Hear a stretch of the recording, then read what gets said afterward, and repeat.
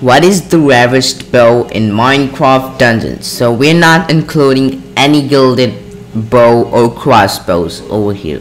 So this is just my opinion. Until I know, I haven't researched about this. If you know any rarest crossbow or bow, please let me know in comment down below. And if you think I'm right, just like and subscribe because I bet if you're new to my channel you will love. So the rarest bow is it's Soul Hunter crossbow.